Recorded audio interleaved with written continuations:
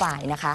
เอาละครับ สักครู่หนึ่ง เดี๋ยวสักครู่นะคะ เราจะไปสนทนากับคุณบรรจงณแสนะคะ นายกสมาคมรักทะเลไทย สวัสดีค่ะ คุณบรรจงคะสวัสดีครับ ครับเอ่อสวัสดีครับคุณอมรรัตน์ใช่ไหมฮะ ครับครับครับครับอ่าคุณบรรจงครับ ครับผม ทางฝั่งรัฐบาลเขาบอกว่าเขาบอกว่าทางฝั่งม็อบนั้นผิดนัดปิดนัดยังไงนะฮะ ที่จริงนัดหมายกันว่า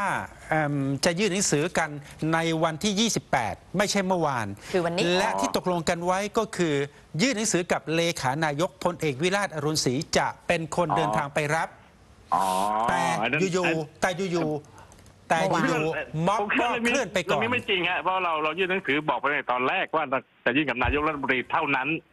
ตั้งแต่แต่ว่าแรกเลยเหรอฮะใช่ใช่ครับตั้งแต่ออกมาวันที่ 24 จากเทพานะฮะ ตอนเคลื่อนออกจากตอนเดินเท้าออกจากอำเภอเทพาเมื่อวันที่ 24 พฤศจิกาวันประศุกากศร์แล้วว่าจะยื่นหนังสือกับนายกคนเดียว เพราะว่าเหตุผลที่ต้องพูดอย่างนี้ต้องต้องเรียนอย่างนี้ เพราะว่าพี่น้องไปกรุงเทพใช่ไหมฮะอย่างน้อยสามครั้งเนี่ยเราก็ยื่นผ่านหน่วยงานมั่งกระทรวงมั่งใช่ไหมฮะแต่ปรากฏว่ามันไม่ได้รับการตอบสนองเลยว่าเออท่านต่างการว่ายังไงบ้างใช่ไหมฮะเรื่องเรื่องที่เป็นข้อข้อกังวล ตั้งแต่เรื่องย้ายชุมชนร้อยกว่าครัว เรื่อง EIA ของท่าเรือยังไม่ผ่านเรื่องอะไรพวกนี้นะฮะ ครับทีนี้ทีนี้พอครั้งนี้เนี่ย ท่านนายกรัฐมนตรีมาคอรมอสัญจรที่สงขลาเนี่ยความรู้สึกของชาวบ้านก็คือว่าท่านอุตส่าห์มาถึงสงขลาคงคงจะได้มีโอกาสได้ยื่นท่านกับมือ อันนี้คือคือเป็นสิ่งที่ยืนยันมาตลอด แต่แน่นอนเขาก็เสนอว่าให้ตัวแทนผู้ว่าไปรับได้ไหมอ่าให้มายื่นที่ศูนย์ดำรงธรรมด้วยไหมอันนี้เขาเสนอจริงนะฮะเขาก็เสนอมาจริง แต่ว่ามันนั่นไม่ใช่ไม่ใช่จุดประสงค์ที่เราบอกตั้งแต่แรกว่าครับพี่น้องอยากจะเจอครับท่านนายกสัก ห้านาทีครับสิบนาทีก็ได้ครับใช่ไหมฮะเพื่อให้ครับ ขอได้ยื่นกับมือว่าท่านครับได้เห็นหนังสือนี้จครัริงบครับๆเพราะมันไม่ใช่แก่ข้อข้อเรียกร้องให้หยุดโครงการไง ค่ะ มันหมายถึงคำอธิบายความกังวลต่อเรื่องชุมชนเขาจะอยู่ที่ไหน กูโบมัสยิดก็จะอยู่ยังไง อาชีพประมงก็จะไปทางไหน มันค่ะมีรายละเอียดครับอยู่สามหน้า ใช่ไหมครัฮะบ ค่ะ ทีนี้ครับ รัฐบาลก็มีข้อเสนอมาเรื่อยๆตอนแรกตั้งแต่เสนอให้รองผู้ว่าการจังหวัดมารับใช่ไหมฮะ ครับ อ่าแล้วก็เดี๋ยวก็เปลี่ยนเป็นขยับมาเป็นผู้ว่า อ่า เดี๋ยวก็ขยับมาคนนู้นหลายคนมาก ซึ่ง ซึ่งมันมันไม่ใช่ข้อตกลงที่พี่น้องต้องการไว้แต่เดิมนะฮะ อันนี้ อันนี้ก็อยากจะเรียนตรงไปตรงมาอย่างนี้นะฮะ เอากลับเรียนขอสอบทานข้อเท็จจริงนิดหนึ่งโฆษกรัฐบาลพลโทสันเสริญแก้วกำหนดเยยืนยันว่า ได้มีการตกลงกันระหว่างแกนนำม็อบเทพากับ ทางเลขานายกพลเอกวิราชอรุณศรีนัดหมายกันว่าไม่มีเด็ดขาดการคุณยื่นหนังสือและการรับหนังสือจะกระทำผ่านจะกระทำผ่านเลขานายกเลขานายกเท่านั้นและนัดหมายกันวันที่ 28 ไม่ใช่วันที่ 27 วันที่เกิดเรื่องเมื่อวาน ผมผมฟังอ่าเสอูพูดนะฮะค่ะผมรู้สึกว่าเขาไม่ใช่ลูกผู้ชายเลย ไม่ใช่นะชายชาติทอ้าวหารทำไมเลยเป็นอย่างนั้นล่ะอ้าวก็ลามไปถึงคุณมัดอะไรนะ ที่บอกว่าอะไรนะไปนอนกับผู้หญิงผู้หญิงเนี่ยผมคิดว่านี่ไม่ใช่ลูกผู้ชายไม่ใช่เหตุการณ์ที่คุณเอาเรื่องเหล่านี้มาใส่ร้ายผู้นำอืม ใช่ไหมฮะอืมข้อเท็จจริงก็คือว่าเสอูนี่รู้เรื่องพวกนี้หรือเปล่าเรื่องปัญหาที่เกิดขึ้นเนี่ย แล้วครับที่ทหารเนี่ย ไปเชิญชวนให้ฝ่ายสนับสนุน ไปทำข่าวฝ่ายสนับสนุนที่อำเภอเทพามีรายลักษณ์อักษรว่ากองทัพภาคสี่ส่วนหน้าที่เกี่ยวกับฝ่ายสื่อสารเนี่ยครับพยานหลักฐานครับนั่นคือ ตั้งแต่วันที่ครับ27 ตอนเช้าจำได้ไหมฮะครับค่ะครับมันคแสรับดงให้เห็นถึงว่ารัฐบาลโดยทหารเนี่ย ไม่เป็นกลางต่อโครงการขนาดใหญ่ที่ส่งผลกระทบอย่างนี้จะให้ชาวบ้านไว้ใจได้ยังไงครับเพราะเราก็อยากจะสื่อสารกับท่านนายกโดยตรงไม่ต้องผ่านใครอีกแล้ว เพราะว่าเผื่อท่านนายกท่านจะไม่รู้ว่าครับลูกน้องท่านในพื้นที่น่ะ เรากังวลโดยเฉพาะพวกผมเนี่ยโอเคครับแหละเรื่องเรื่องฐานหินมันมีความขัดแย้งตั้งแต่ระดับพื้นที่ฝ่ายเห็นด้วยไม่เห็นด้วยครับค่ะในทางในทางวิชาการก็เถียงกันเรื่องฟอสซิลเรื่อง ฐานหินมันไม่ใช่ทิศทางของโลกต่อไปแล้ว นายกก็ไปเซ็นอืมอืมเรื่องข้อครัตบกลงครับเรื่องครับลดครับโลกร้อน ครับเรื่องนี้เราไม่รู้ว่าท่านนายกรู้ไหมครับอืมทั้งครั้งนี้เราขอเราขอแค่สักห้านาทีสิบนาทีแค่นั้นเองที่ที่ที่คุยกันนะฮะแต่แน่นอนที่เสอูพูดมาหลายเรื่องนี่ผมคิดว่าใส่ร้ายป้ายสีแล้วผมคิดว่าไม่เป็นลูกผู้ชาย ครับอะคุณบรรจงครับเมื่อเมื่อบ่ายวันนี้เองเอ่อท่านนายกเองก็ตั้งคำถามเอากับม็อบเทพาเช่นกันนะครับอืมว่า เจตนาคืออะไรที่ดึงดันจะยื่นหนังสือกับตัวนายกโดยตรงอะอืมใช่ใช่ผมก็เห็นเห็นท่านให้สัมภาษณ์ที่ไอ้หมหาอะไรอยู่นะฮะเพราะว่าที่ให้สัมภาษณ์ผมก็อ่านอยู่นะว่า ค่ะใช่จะตอบยังไงใช่คะใช่จะตอบใช่ คำถามนี้ท่านนายกยังไงดีคะกรณี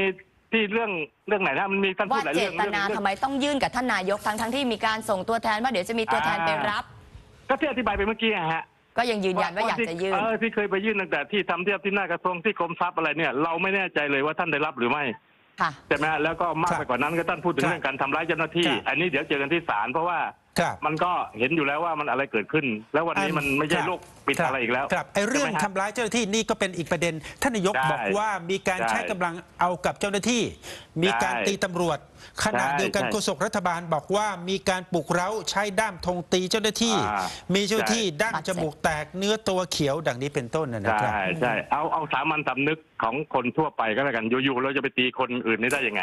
ถ้าไม่มีใครมากระทำก่อน เรื่องนี้มันเคยเกิดขึ้นเมื่อปีสี่ห้า ตอนโครงการท่อก๊าซก็เหมือนกันที่จับพวกผมไปน่ะ โอ้โห ใช้คันธงใช้นู่นใช้นี่ พอถึงพิสูจน์กันในศาลช่วงนั้นมีมีแค่วิดีโอสองสามช่องนะวันนี้เรามีเป็นสิบ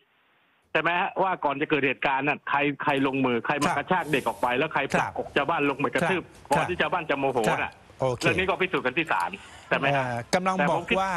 กำลังบอกว่าจุดเริ่มต้นไม่ใช่ใช่แน่นม็ออบนผมรับประกัน แล้วก็แต่พิสูจน์กันแต่ที่ช็อศาตลเลยต่อเพราะตมาอนนี้ก็ยอมรับว่าม็อบก็โมโหเหมือนกันว่ากันงั้นเถใช่อะ ก็เอาข้อตกลงของแม่ทัพภาคสี่รองแม่ทัพภาคสี่ยืนยันได้ โอเคว่ามีการคุยกับคุณเอกชัยตลอดเลย เพราะว่าเขาเป็นเป็นฝ่ายประสานงานครับใช่ไหมฮะที่ทำหนังสือถึง ครับ อ่าตำรวจเทพาที่บอกว่าไม่แจ้งไม่อะไรเนี่ครัยบโกหกเพราะว่าเรามีรายลักษณ์อักษรและมีรายลักษณ์อักษรตอบจากตำรวจด้วย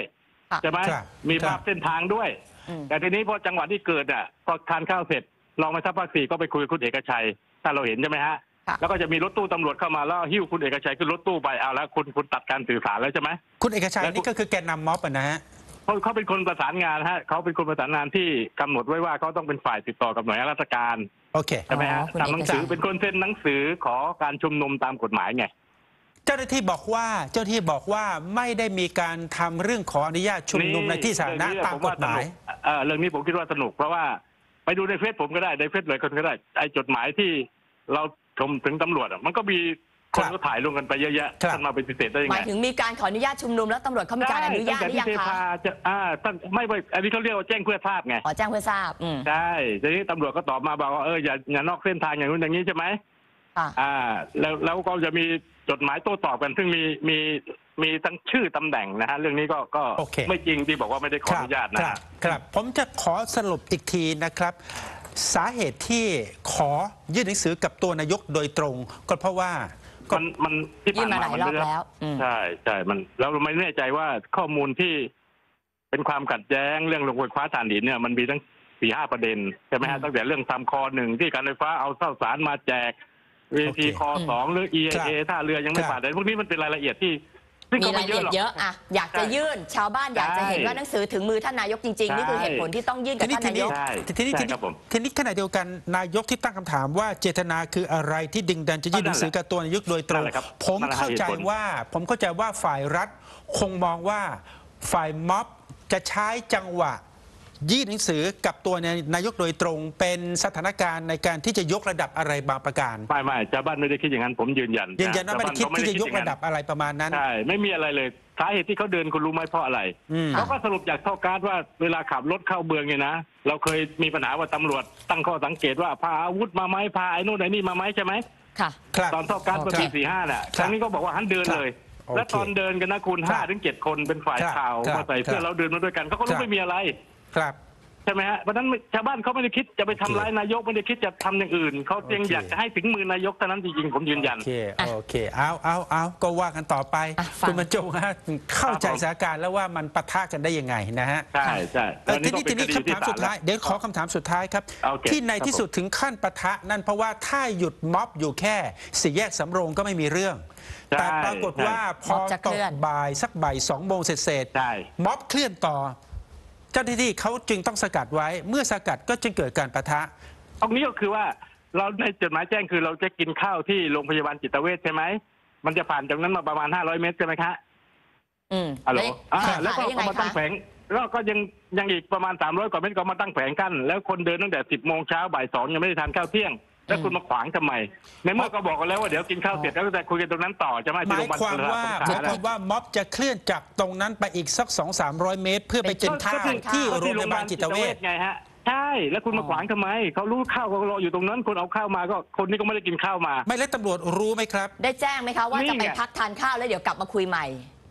ประเด็นของผมก็คือตรงนี้ที่ผมก็ไม่อยากจะโทษส่วนอื่นๆด้วยนะ ระหว่างตำรวจทหารหรือหน่วยส่วนเนี่ยคุณได้ประสานกันหรือเปล่า ใช่ไหมฮะ เพราะว่าในในเส้นทางที่ระบุไว้ตั้งแต่วันที่ยี่สี่วันคืนนี้นอนมัธยิดไหนคืนที่สองนอนตรงไหนเนี่ยว่าบอกไว้หมด แล้วก็จุดพักกินข้าวแต่ละครั้งใช่ไหมฮะอ๋อระบุไว้แล้วอ่าที่ก็ระบุล่วงหน้าแล้วไอ้ไอ้อืมฝ่ายอาหารก็เอาตั้งไว้ที่ไอ้โรงโรงพยาบาลจิตเวชแต่คุณมาขวางระหว่าง ไอ้ราชพัฒกับจิตเวชใช่ไหมทำอย่างนั้นทำไมครับครับใช่สไหมฮะรุปแล้วก็คือว่าหน่วยที่เข้ามาปะทะม็อบนั้นอาจจะไม่ใช่หน่วยที่ได้รับการประสานจากฝ่ายม็อบมาตั้งแต่แรกอันนี้เป็นจึงไม่รู้ข้อคิวสังเกตหรือเปขงล่าผมนะยก อ่าไม่รู้อันนี้เป็นข้อสังเกตของผมจุดรายละเอียด ไม่รู้เจตนาจริงหรือว่า หรือว่าต้องการให้เกิดเรื่อง อันนี้ผมว่าเป็นเป็นข้อสังเกต เอาเอาเอาเอาโอเค ขอบคุณมากครับคุณบรรบรรจงจงครับค่ะผมขอบคุณนะคะครับผมครับคสรัวับสดีสควัรับผมสดีครับ สวัสดีคค่ะรับคุณบรรจงนแสนนะคะเดี๋ยวนายกเดี๋สยวมาคมรักทะเลไทยค่ะ เราจะเบรกตรงนี้ไปก่อนนะ ในช่วงหน้าเราจะเปิดพื้นที่ให้กับโฆษกรัฐบาลครับค่ะ ช่วงหน้ามาติดตามกันต่อนะคะ พักสักครู่ค่ะ